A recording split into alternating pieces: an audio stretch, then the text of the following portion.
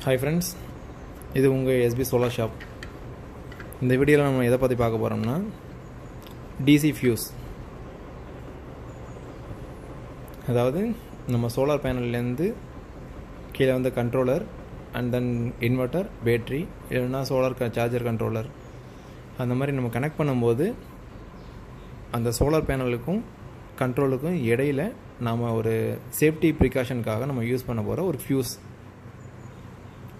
இந்த ஃபியூஸில் பார்த்தீங்கன்னா நிறைய பிராண்ட்ஸ் இருக்குது எல்லாமே நியர் பார்த்தீங்கன்னா உங்களுக்கு ஃபைவ் ஹண்ட்ரட் அந்த ரேஞ்சில் வரும் எல்லாமே. Five hundred six hundred six fifty அந்த ரேஞ்சில் வரும்.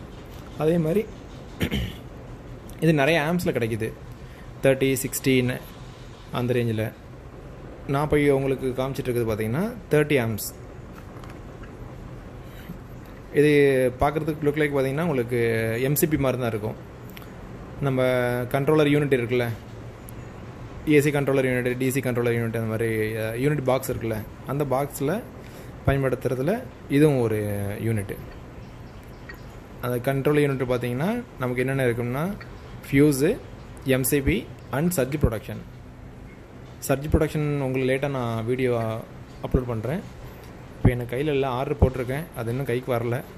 வந்தோன்னு நான் அதை பற்றின டீட்டெயில் உங்களுக்கு வீடியோ அப்லோட் பண்ணுறேன் இப்போது இதை பற்றி பார்க்கலாம். நம்ம பேனல்லேருந்து அதாவது சோலார் பேனல்லேருந்து வர்ற கரண்ட்டை அதாவது ஒயரை நம்ம அவுட்புட்டாக எடுக்கிறோம்ல ஒயர். அந்த ஒயர் அதுலேருந்து வர்ற ஒயரை டேரெக்டாக நம்ம வந்து ஃபியூஸில் கொடுத்துடணும். இந்த ஃபியூஸில் இந்த ஃபியூஸ்லேருந்து டேரெக்டாக அடுத்தது பார்த்திங்கன்னா எம்சிபி அண்ட் தென் அவுட்புட்டாக நம்ம வந்து கண்ட்ரோலர் கொண்டு போகணும். அந்த எம்சிபிலேருந்து ஒரு சின்ன அவுட்புட் எடுத்து டேரெக்டாக பேனலேருந்து வர்றது அவுட்புட் எடுத்து தான் நம்ம வந்து சர்ஜி ப்ரொடக்ஷன் கொடுக்க போகிறோம் சர்ஜி ப்ரொடக்ஷன் சம்மந்தமாக உள்ள வீடியோஸ் நான் தனியாக வெளியிடுறேன் லேட்டாக இது பார்த்தீங்கன்னா ஓப்பன் சின்ன ஒரு ஹோல்டு இருக்குது இதில் தான் ஃபியூஸ் ஹோல்டர் நம்ம ஃபியூஸை போட போகிறோம் இது ஜஸ்ட்டு ஹோல்டர் ஃபியூஸ் ஹோல்டர் இது பார்த்தீங்கன்னா சின்ன வயல் டைப்பில் இருக்கும்.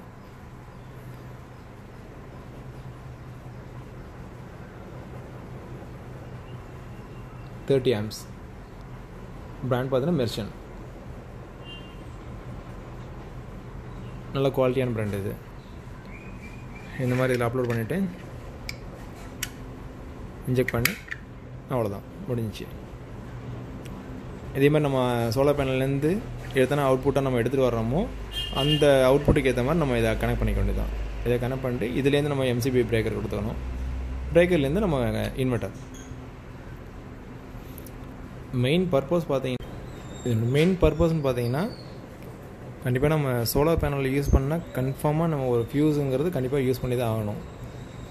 பர்பஸ் பார்த்தீங்கன்னா சடனாக ஓவர் வோல்டேஜ் வருது. கரண்ட் அதிகமாக ஃப்ளோ ஆகுது.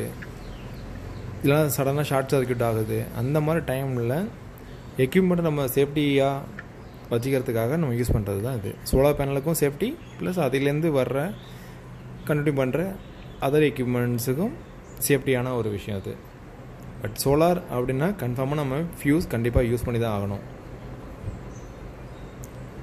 தேங்க்ஸ் ஃபார் வாட்சிங் ஃப்ரெண்ட்ஸ்